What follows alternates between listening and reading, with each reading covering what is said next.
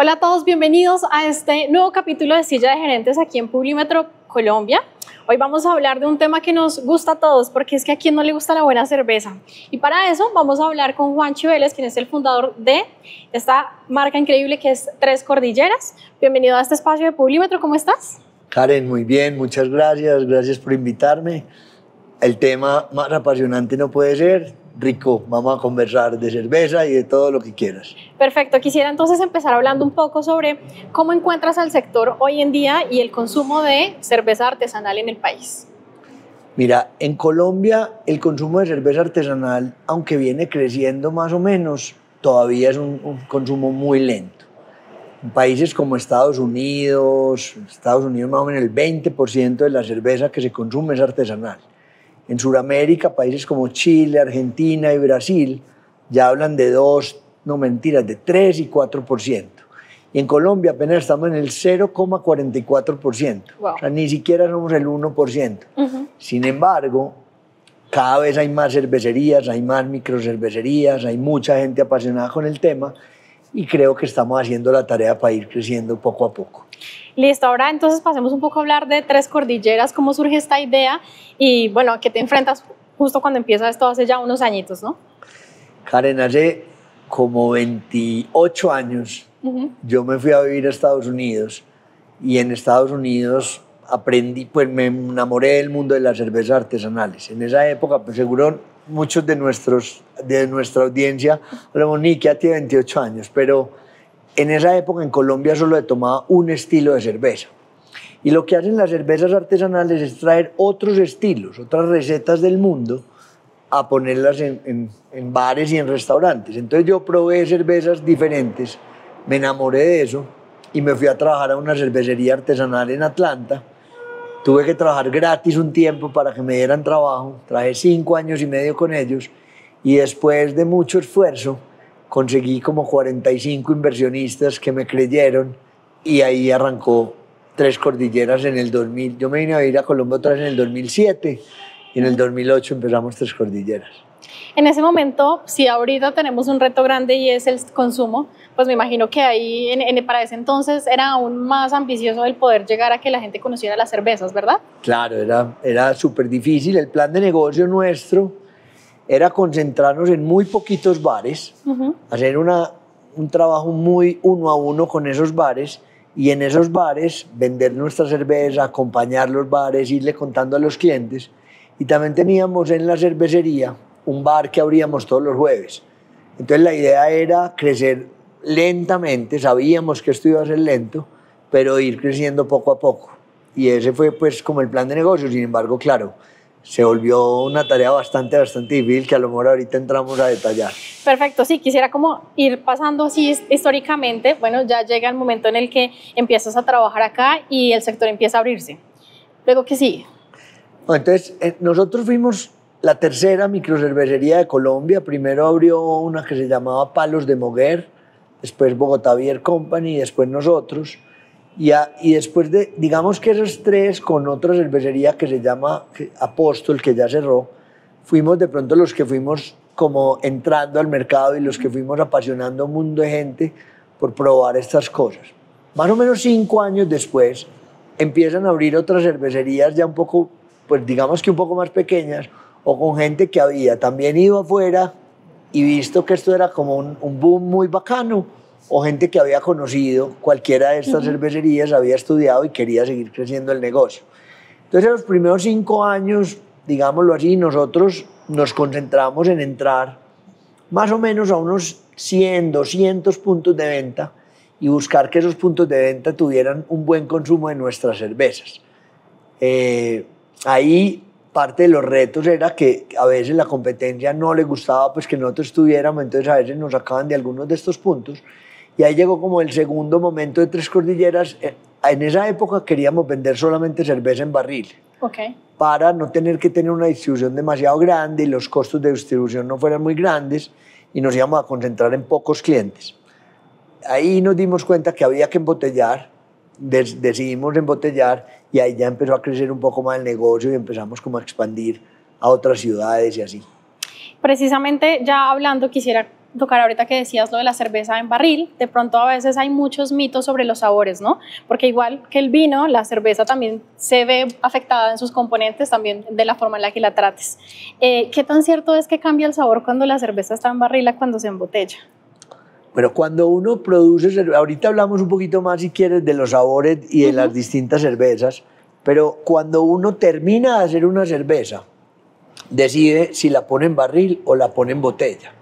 Entonces, digamos que no es verdad que el líquido que va a los barriles y el líquido que va a las botellas sea distinto. Okay. Sin embargo, la cerveza, el mejor día que tiene una cerveza es el día más fresco que tiene.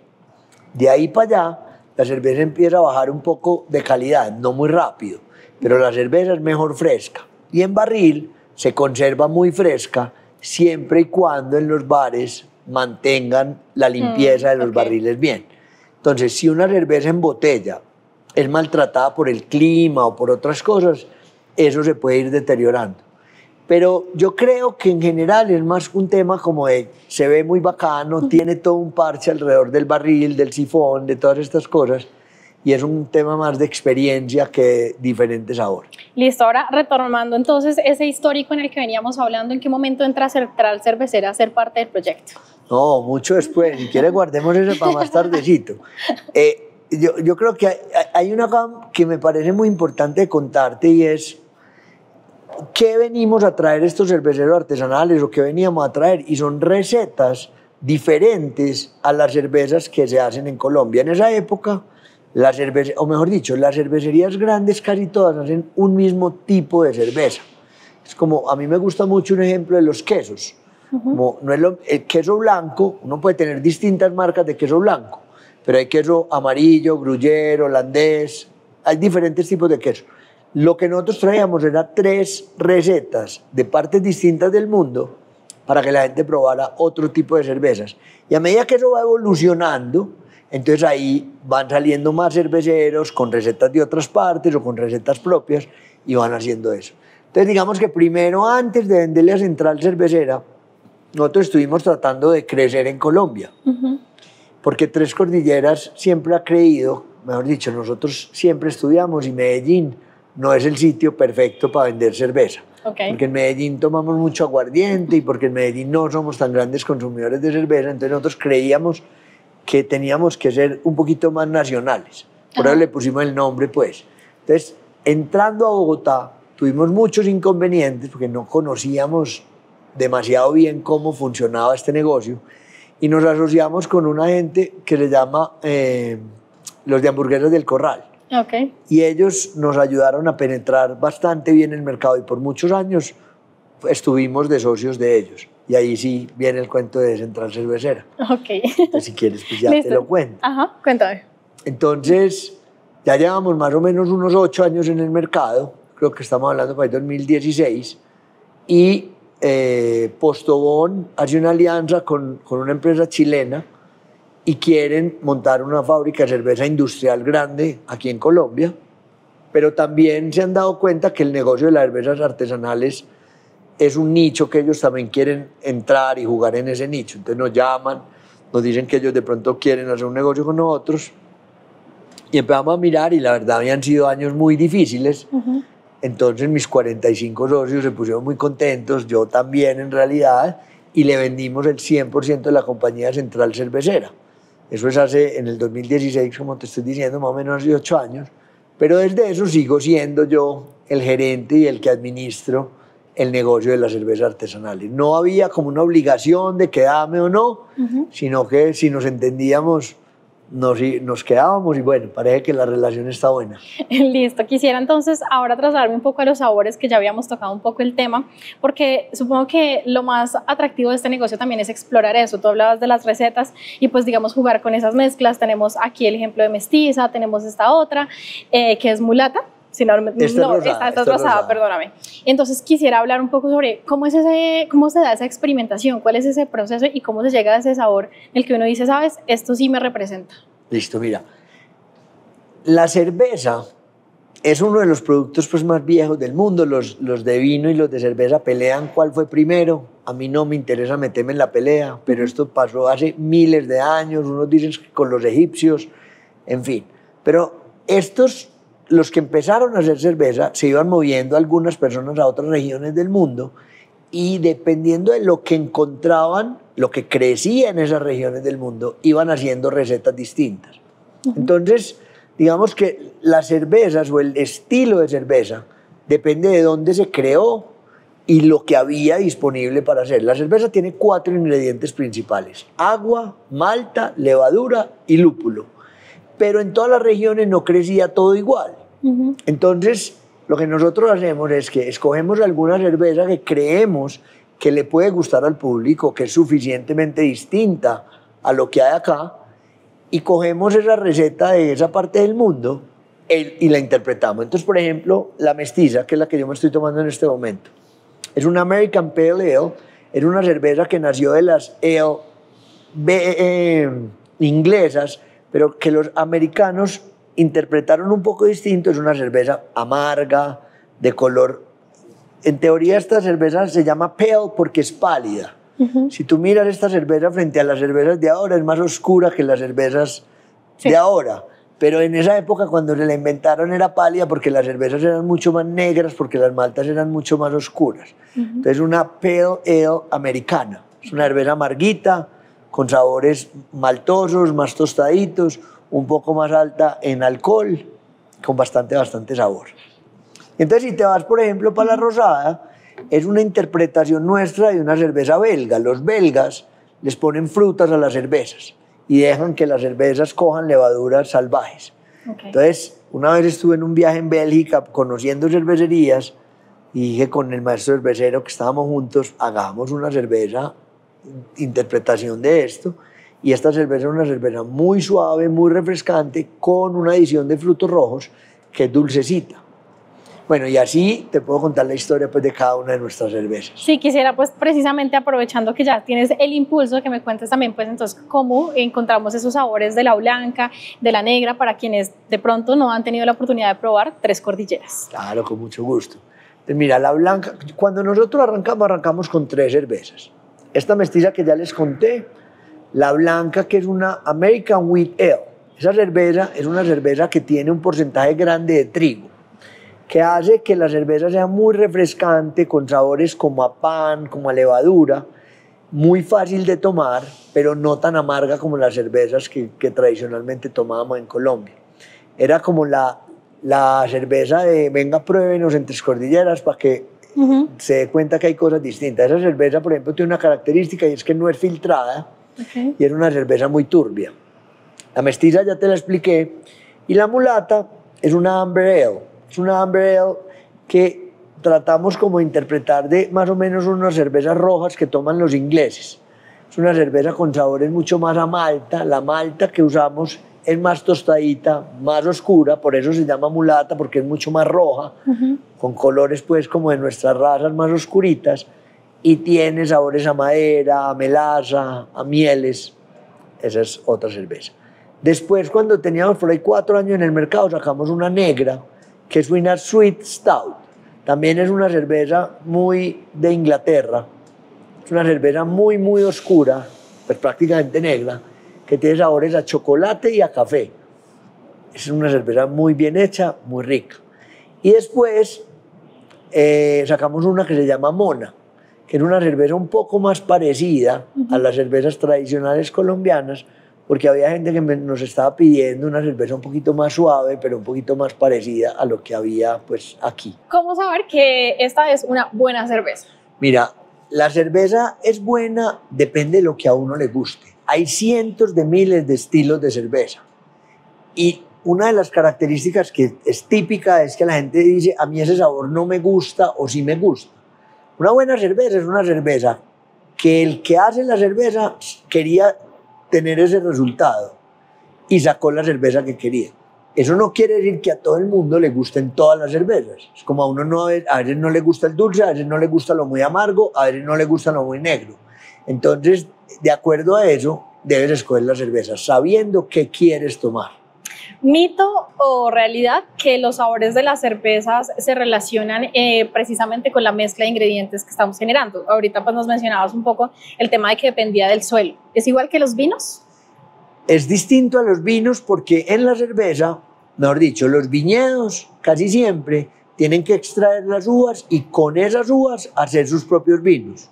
En cambio, los cerveceros compramos maltas en todo el mundo, compramos lúpulos en todo el mundo, los mandamos traer y ahí sí lo hacemos. Entonces no estamos supeditados a solamente lo que ese suelo nos produjo, sino que podemos comprar las diferentes maltas, los diferentes lúpulos y la diferente levadura para crear nuestra cerveza.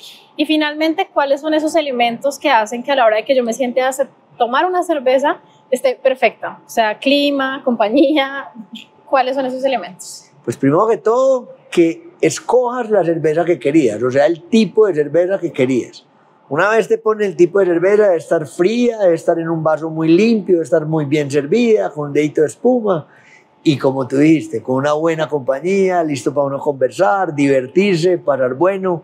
Esto no es, no es una ciencia, es una ciencia muy grande, pero es para divertirse, es para pasar bueno, es para compartir con los amigos.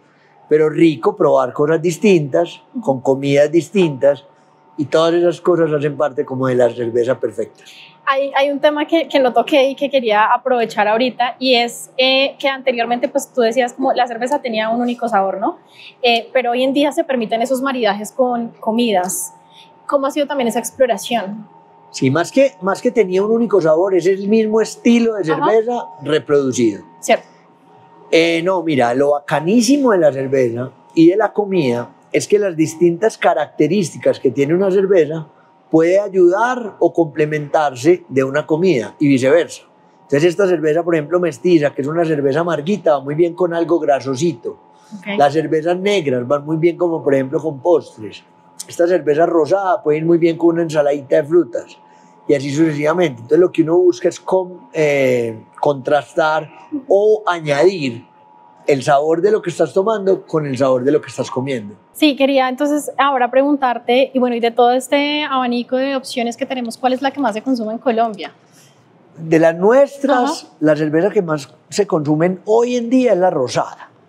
Pero es muy simpático porque casi todas las microcervecerías tienen una cerveza que vende mucho más que las otras, pues en lo que yo tenía experiencia en el mundo, pues en Estados Unidos. Y nosotros cuando arrancamos todas se vendían casi igual. Entonces yo creo que eso es una muestra de que la gente sí quiere probar este tipo de cosas. Lo que pasa es que la disponibilidad de nuestras cervezas, el llegar al mercado es un poco más difícil. Más, sí, hay menos disponibilidad. Eh, para, para, ponerte un ejemplo, hoy que estamos con Central Cervecera, que hemos crecido tanto, nosotros ya le vendemos más o menos a 15 mil puntos de venta en todo Colombia. Pero cualquier cerveza tradicional colombiana de las que está bien penetrada, le llega a 400 mil puntos de venta.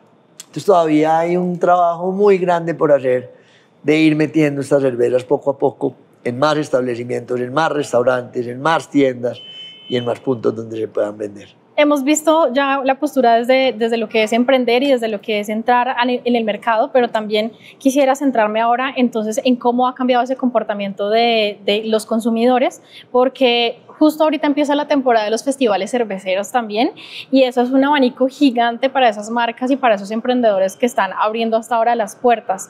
¿Cómo has visto ese cambio a través de los años? Hermoso y dramáticamente apasionante.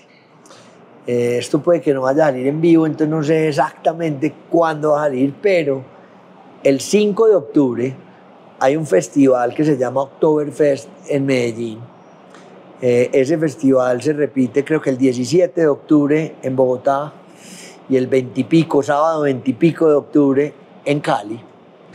Y yo te podría decir que van a ir a cada uno de esos festivales alrededor de 100 cervecerías distintas, 80, 100 cervecerías distintas, cada uno con 4 o 5 cervezas. Y te eso fue, cuando yo viví en Estados Unidos y veía eso, yo decía, uy, yo quiero que algún día esto pase en Colombia. Y ya yo voy a esos festivales y veo cientos, cientos de cerveceros apasionados contando su historia, contando por qué se llaman así, dónde aprendieron y dándole a la gente diferentes tipos de cerveza. Entonces sí está cambiando muy dramáticamente el, el mercado y yo creo que hay una, pues un espacio para crecer y para que seguir construyendo sobre esto muy grande. ¿Cuál es el consejo que le darías a ese Juanchi que empezó este proceso hace ya varios años y que hoy está aquí sentado. Yo creo que no se meta ahí, le hubiera dicho.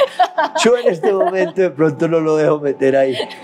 O sea que no es un buen consejo. No. Yo creo que no es un buen consejo. Ya pasaron muchos años. Sufrimos mucho. La verdad es que uno cree que este es el sueño de la vida y a veces en muchos momentos fue como el, la pesadilla de la vida. Bueno, pues reflexionamos mejor. Yo creo que a todos los emprendedores los que hay- lo que hay que decirles es que se fijen muy bien si les encanta lo que van a hacer. Porque esto no se hace que porque va a conseguir plata o porque no va a tener jefe o porque va a ser independiente, porque a la hora de la verdad uno cada vez es menos independiente, cada vez depende más de los clientes, de los consumidores, de, de miles, de los bancos, de los socios, bueno, en fin, este mundo de emprender no es tan fácil. Pero yo creo que no, si alguien quiere emprender, sea en cerveza o en lo que quiera emprender, yo creo que el consejo de un señor de 53 años que ya pasó por acá es que ojalá haga algo que le encante, porque si no, es muy poco probable que le guste seguirlo haciendo. Bueno, muchísimas gracias Juan Vélez por hacer parte de esta conversación y de este espacio aquí en Silla de Gerentes. La invitación, por supuesto, es a disfrutar de una buena cerveza y que mejor que con una muy buena compañía. Estén muy conectados con Publimetro porque seguiremos con más entrevistas así. Gracias. Gracias, salud. Y salud. Exactamente.